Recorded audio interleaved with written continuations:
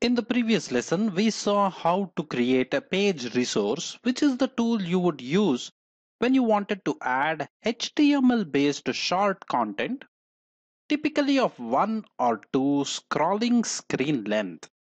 But what tool do we use when we have learning content several pages long? A great tool for this is Moodle's book resource which lets you create multi-page resource in a book-like format with chapters and subchapters. For a change, we will see this example on a live version of Moodle. The look and feel in this example is going to be different just because I am using a different theme on the site, but all the logic is going to remain exactly the same. We first start by putting the course page into editing mode. And then from the activity and resource chooser, I am going to select the book resource. I will follow this with the name and description. So far, this is exactly like how we have done earlier.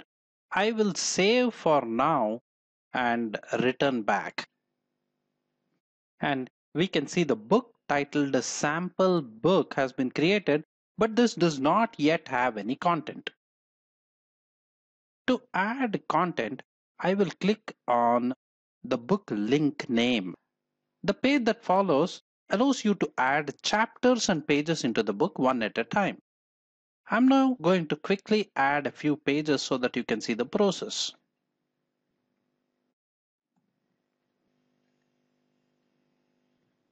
If I turn this checkbox on, it will make this current chapter as a subchapter of the previous chapter. Once the first chapter has been added, you will see the table of contents block of the book. This is unique to the book interface. To add a new chapter, we will click on the plus icon in the table of contents. And this leads back to the same adding chapter page.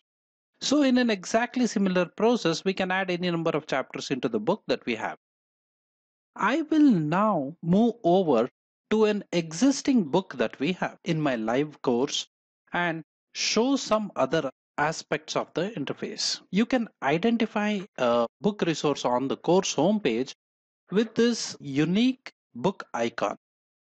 When I go into edit mode for the book, all your modifications can be done from the table of contents block. You can reorder the chapters, edit existing chapters, delete them, or even control their visibility with these familiar intuitive icons.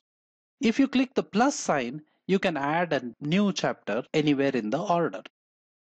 So overall, this is how the book tools interface looks like. It is a great tool to make learning content available to learners because not only can you put up text material, you can upload different media such as video and audio like we saw in the page example.